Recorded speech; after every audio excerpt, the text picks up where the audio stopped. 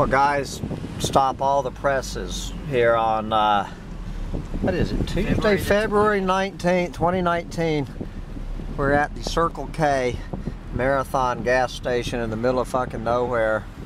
And we just heard the gas pump news. The number one story on the gas pump. Kylie Jenner sports new eyebrows on the cover of Allure magazine.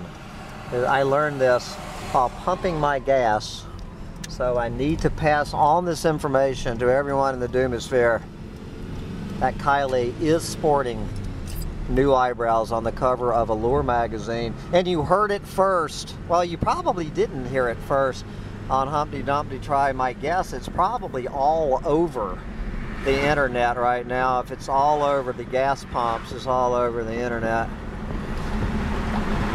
We're going past Stump Knockers Restaurant over the beautiful Withlacoochee River.